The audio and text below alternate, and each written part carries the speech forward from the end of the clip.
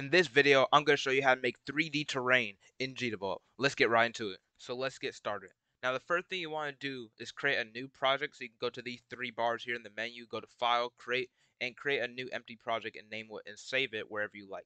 Now, regular GDevelop, when it comes to terrain, it doesn't have the assets and the ability to have 3D terrain, nor does Pandocals extension. But there is an extension called Babylon.js or Babylon GD that can do three not only 3D terrain but can do many other 3D features like 3D boxes. But in this case, we're going to be learning how to do 3D terrain because that's very important for making realistic 3D games. Now, before we go and download this extension, I'm going to drop the creator of this extension's channel inside my description so you can go subscribe to his channel. It's good that you support him and making sure that he has the motivation and support to keep updating this great extension.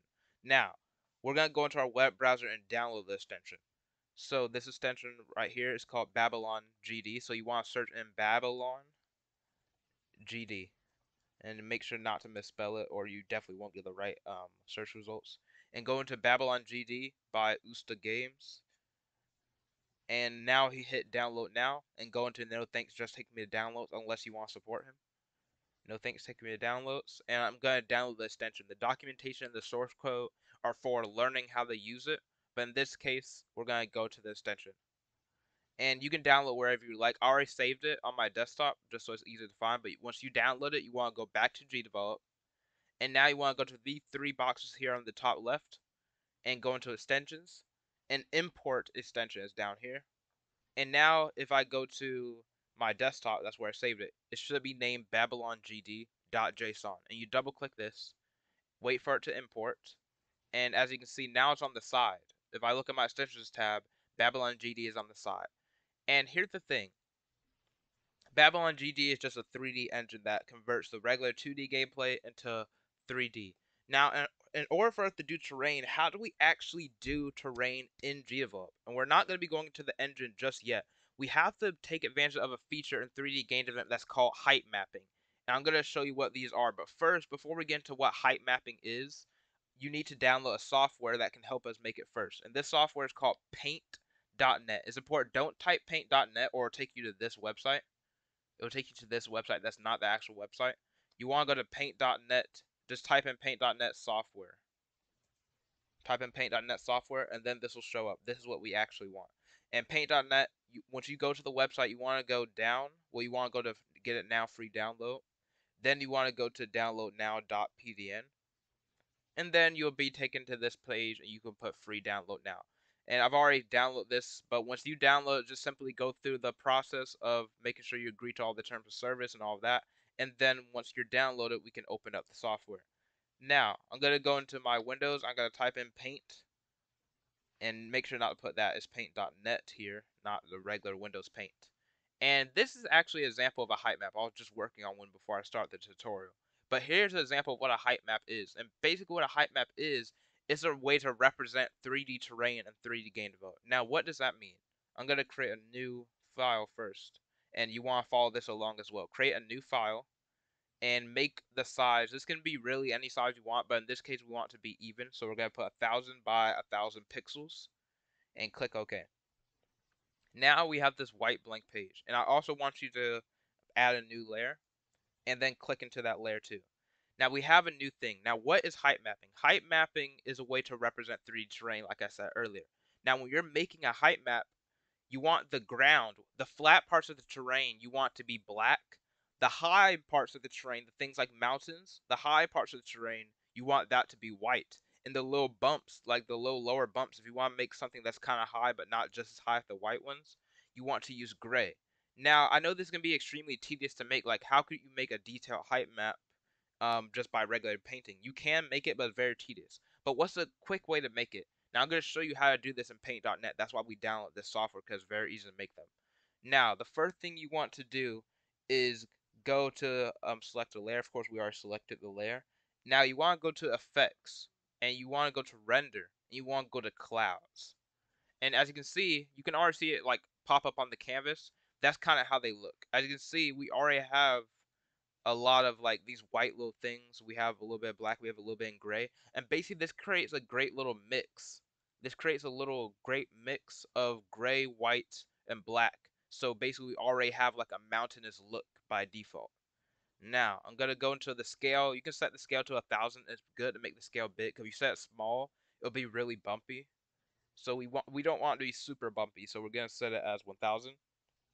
And set the roughness as like 0.40 or through like 45 or 50. It doesn't really matter too much. Now I'm going to click into OK. Now another thing I want to do is delete. I want to delete um, parts of this because I want to have like a middle path. And therefore we're going to need to use black. So instead of drawing black, I'm going to show you this later, but you want to click into the eraser. It is over here, and it looks pink and white. Click into the eraser, or you can use the keyboard shortcut E. And you want to set the hardness to 0 and set the brush size to 375. The brush size doesn't matter too much, but since we're trying to make a path, we want to be pretty big. And now you want to click, and as, when I delete this path, you'll be looking at it, and you're like, okay, it's white. It's not actually black, so won't it be a high point? Well, we're going to invert this later so it can look black but we're using the eraser token. When the eraser erases, it naturally looks white. That's why we're using eraser first. And I'm just making this little path here with some mountain stuff on the side. And now that that's done, we want to merge the layers. We want to merge the layer. And the way we do this, we go to the layer. We go to layer. And then you scroll down and you put merge layer down. It should be the fourth option on the layers tab. Merge layer down. And now you see now they're both the same layer. And now I'm going to do adjustments. Go to invert colors. And now you can see we have this. So if just to look at it, this black part, think of this as a terrain, a 3D terrain for a second. This black part is going to be the flat ground, which we don't have too much of.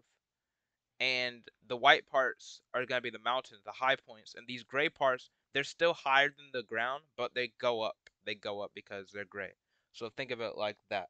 Now we're gonna save this. We're gonna save this right now. So I'm gonna go into File, and I'm gonna put Save As. Gonna put Save As, and as you see, I kind of already have these. So I'm gonna just save this on my desktop just so it's easy to find. And I'm gonna name this um, height map tutorial since I'm making a tutorial. Height map tutorial. And save this wherever you can find it. And then it's gonna take you to this. Don't change any of the settings here. Just press OK. Now, heading back into GDevelop, heading back into GDevelop. In order for us to see our terrain, of course we need a player, we need a camera, we need something so we can see. We need something so we can see. So first, before we even start making our terrain object, we want to make a player first. But before we even make a player, we want to go into our events. Because we have to start up the engine first. So what you want to go to is add a new event, add a condition, other conditions, and go into Babylon GD, and put if Babylon engine is ready. If Babylon engine is ready, and then go into actions, go to other actions, and go to Babylon GD, start the engine. So basically, the moment we start the scene, you won't be able to see it now, but the moment we start the scene, Babylon JS automatically starts. Of course, we can't tell right now, but Babylon um, .gd has already started. Now I'm going to add a new object. I'm going to call it camera. It doesn't really matter whether you call it camera or player. I'm just going to call it camera because that's literally what it is. I'm going to add a sprite, and it doesn't matter what sprite you add. Normally, of course, you'll add a sprite, and it'll take you to Piskel if you create a new one, but my Piskel doesn't work. But all you're going to do is create a 32 by 32 cube, and that's it. So I'm going to go to my sprites, pictures, I'm going to go to game sprites, sprites for tutorials, and I'm going to go to this blue blue cube here, and just create a 32 by 32 cube. And before we leave out, we want to go to the behaviors tab and add a new behavior. And when we scroll down, you'll see we have all these new behaviors specifically for Babylon GD. So now what we're going to do is add the camera behavior. And you can see, it creates a camera, a first person camera for the player. And make sure these are checked off. Apply gravity, yes. Check collisions, yes, we want to collide with things. Hide, hide on 2D canvas. Remember, it makes sure we can't see it on the regular 2D canvas and leave all this as default. These are just ASCII codes, key codes. This represents S, this represents D, this represents A, and this represents W. If you want to change these, look up ASCII key codes. That's what you want to do if you want to change these by default. But I'm going to hit apply. And before we start, um, if I drop the terrain and player in a scene right now, we won't be able to see anything. So we also need a light. We need a 3D light. I'm going to add a new sprite. Call this light. and we're going to be using a 3D light for this. And add a sprite. I'm going to go into my tutorial. You can, like, I said, once again, set this as a 32 by 32 cube using the paint tool. And put red cube. Of course, I'm putting red cube for myself. Go into behaviors, add a behavior, and then scroll down and go to light behavior. Then you have a hemispheric light. A hemispheric light basically it covers the whole as you can say hemisphere or you can say in this case the like 3D atmosphere. Basically it covers the whole place so you're all everywhere you go on the map will be lit up. And of course point light I'll get to these on a future tutorial for Babylon GD, but these are all different lights, a spotlight, a directional light. These are basically self-explanatory, but they're not as big as a hemispheric light. And the intensity is how bright the light is going to be. And I'm going to set the intensity of 3. The lower, of course, the darker, the higher, the lighter. And vector 3 array, this is a vector position. It's something actually I don't quite understand. But all you need to know is you need to change this, not change this, don't change this. Because if you change this to something random or some gibberish, it won't work. So just keep this as it is by default, it'll work. Apply. And drag the light onto the scene. And also drag the player onto the scene. Now let's get into finally, finally making our terrain. I'm going to add a new object and call it, um, well, let me see, a sprite is a sprite object. And we're going to, of course, name it terrain.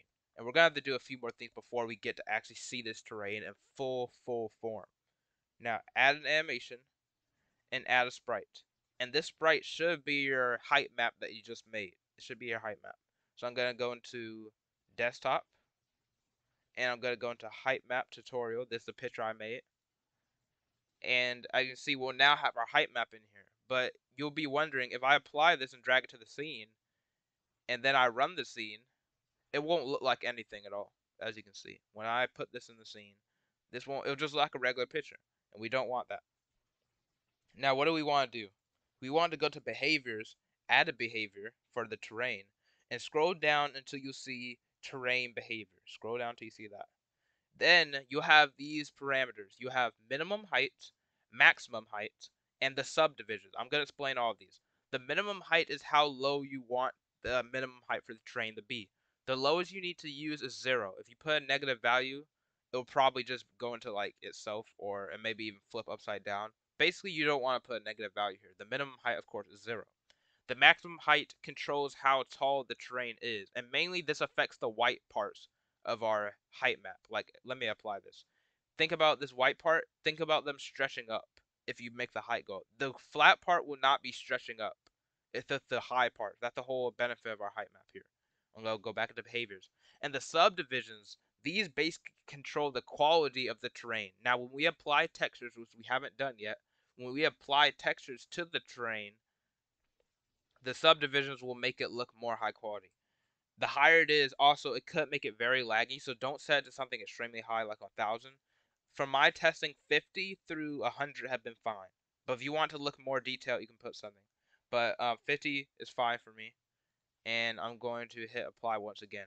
But of course, we can't have we can't do anything yet. So I'm gonna um, uh, go back into the terrain. Now, when we're dealing with the terrain in Babylon GD, the we have to set animations for the height map. We have to set an animation for something called a mix map, which I'm going to explain a little bit later. Gonna, we have to set an animation for ground, middle, high, ground, N, middle N, and high N. I know you know what none of those mean, so let me just show you. So height map, we have to name these animations a certain value because this is how the engine knows how to like apply certain animations to what part of the terrain. We have to name it exactly like this with caps and everything. If we don't name it exactly like this, it will not work. So make sure you get this right. The first animation should be called height map, not add sprite. Then you want to add another animation. This next animation should be called mix map, all caps. Make sure all of these are all caps. The third animation should be called ground. The fourth animation should be called middle. The fifth animation should be called should be called, let me see, it should be called high. Yeah, that's the word, high. And uh, the next animation should be called ground n, ground underscore n. And this next animation should be called middle underscore n. And last but not least, this next animation should be called high underscore n. And what we have to do here is put textures in each of these parts. We gotta put textures in each of these parts. Now, I'm going to go hit apply, and I'm gonna actually drag this into the scene. And here thing, we need to do one more thing before we um, run the scene. Put the player, click into the camera slash player, and go to Z order and put 200. Now, if you don't know already, in terms of 3D GDevelop, when we change the Z order, that changes the height of whatever thing we're applying it to. It changes the height of the objects. So by us putting the Z starting Z order as 200, we make sure it starts off high. And I'm going to zoom out and go stretch this terrain out stretch it out. And let's run the scene. We might not see anything because we haven't applied any animations, but we may see something. As you can see, we don't see anything at all because I haven't applied some type of sprite to all of these. Now, what we need to do is add some, I'm going to add a placeholder here. I'm going to add a placeholder. Um, and it's going to be the same thing. At, you can add your height map as a placeholder. But we have to add textures. We have to add a ground texture, what we want that to look like, a middle texture, and then a high texture. So I'm going to show you all of these. So we're going to go back into our browser, and we're going to go into Open Game Art. You can get any sprites you want, but Open Game Art is pretty good for just downloading textures. I'm going to put dirt, and I'm going to put this dirt right here. I'm going to download this dirt object. And there's actually a lot of dirt in this texture pack, but I'm going to just download this specific dirt. This specific dirt right here, dirt2.png. I'm going to also save everything on desktop in this tutorial, just so it's easy to find. Now you want to search up snow texture. Because we're going to use all these textures, because we have to map them with a mix map, which I'm going to explain later. Now I'll get snow texture. And download the snow texture. Save it to the desktop. And last but not least, I'm going to get a stone texture and it's just taking a little bit load. I'm going to get the stone texture right here and download this as well. And here we have it. We have these three textures. Now we're going to go back into GDevelop. And for ground, we want our ground texture. I'm going to put stone. It doesn't matter which one you put, but we'll see later. I'm going to put stone as the ground texture. I'm going to put for middle texture, I'm going to put dirt. And for the high texture, I'm going to put, for the high texture, I'm going to put, um, let me see, snow. I'm going to put snow for that. Now, when it comes to ground N, middle N, and high N, these basically control how your textures mix with one another. And actually, it's best to put this as like an invisible color if you don't want your textures to mix because from my testing, when you try to put mixing textures, it doesn't really look that well. But since we don't have a clear sprite in this case, because this doesn't count as clear, this counts as empty, I'm going to put dirt from my testing, dirt doesn't look too bad when we try to mix it with other sprites. So I'm just going to put the dirt as a placeholder for ground N, high N, and middle N. So I'm going to go into add sprite and put dirt for all of these. And now when I click go back into it, we still may not see any texture or any terrain. Okay, I found out what the problem was. The problem was, in order for us to see our terrain, we have to use a mix map. And I put one here as a test. But in order for you to make your own mix map, I'm going to explain what these are. Matter let me just go straight. Let's go straight back into paint.net. And I'm going to explain to you what a mix map is. Let's go into paint.net. So now I'm in paint.net and I'm gonna get rid of this um, height map here. That's not the one we want. Don't save. But there's a height map we have. And let me make sure this matches the one. Yeah, this matches. So, this height map that we have here. We have colors that have to mix in. As you see, this sprite. I'm going to spray the sprites. We're going to mix in red. We're going to paint this height map with red, green, and blue. I'm going to explain how this maps the textures. Now, for for the ground, for the ground, think of it like this R, G, B. Red it matches with high. So if I paint this height map here, uh, I paint it, the whole thing red, the whole thing will look like the snow. If I paint the whole thing green, the whole thing will look like the dirt. If I paint the whole thing blue, the whole thing will look like this stone. So in this case, RGB, R, the red, it represents high, the green represents middle, and the blue represents ground. So I'm going to put a mixture right here, and not my OBS. I'm going to go into blue. I'm going to click into blue. And it doesn't have to be exact blue because GDevelop will know how close it is to the real color. Go into paint tool. Go into this paintbrush. And now we can paint it. We can paint it. So I'm going to paint this middle. We want this to be the ground. I'm going to put the hardness as 100% so the whole thing can be fully blue. I'm going to paint this ground part blue. I'm going to paint all this ground part blue. This means this will look like stone. Since I want the snow, I'm going to change my brush size to be a little bit smaller than this. Could go to 300. Since I want the snow to be up in the mountains, I'm going to set this as red. Let's set this as red right here on the sides. And the rest of it I want to be dirt. So I'm going to set it as green. So I'm going to click into green down here on my color on my color wheel. And I'm going to paint the rest of this green. And I'm kind of covering it up. I should use a smaller um, brush size. Let me use a smaller brush size. And I'm painting the rest of this green. And I'm going to put some more red over here. So, of course, this will look like stone. This will look like dirt this will look like snow. And it's important that we color the whole thing. We don't want there to be any gaps. Now I'm going to go to File, Save As, and we want to call this Mix Map. You can name this whatever you want. I'm just going to call this Mix Map Tutorial. And save this where you can remember it.